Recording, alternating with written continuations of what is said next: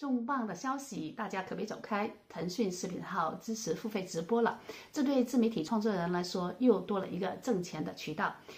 一月二十四号，腾讯尝试它第一次的收费直播，是一场 NBA 的球赛。这场球赛如果是苹果手机，要付呃十三块钱；如果是安卓手机，就要付十块钱，是通过买微信豆来支付的。另外，腾讯也宣布啊，在将来他们应该也会对视频号制作者长视频和中视频或者是短视频啊，都会开放打赏和呃付费的这样的一个功能。对于视频号开通付费直播的功能啊，我个人有三个看法。第一个是，我觉得呃，通过视频号做直播的人呢，会比在其他的平台更为的容易。视频号原来它是跟微信连在一起的，微信本来就是一个社交的平台，呃，跟我们亲人、跟我们的朋友在一起在那里交流。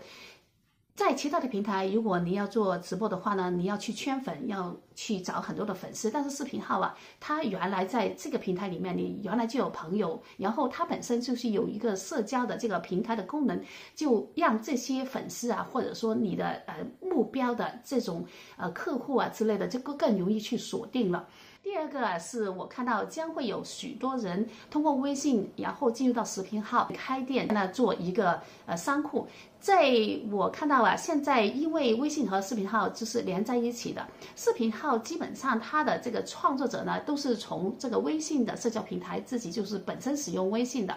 看到别人在赚钱的话呢，很多人呢也会心动啊，就会学习去赚钱了。视频号反正它是可以开挂一个小呃小垫子，就是呃你可以购物。另外在直播间，嗯，如果是你有一技之长，这个直播间呢现在如果开通了付费直播，那你就可以锁定呃某一类人看你的直播啊，你就直接可以在里面呢卖你的知识啊，或者呃你的这个技能啊，从这里面呢让别人学习啊，然后你收费。呃，还有这个直播啊，它本身呢也可以做直播带货，就是说，如果你嗯有这方面的口才啊，或者说你自己呢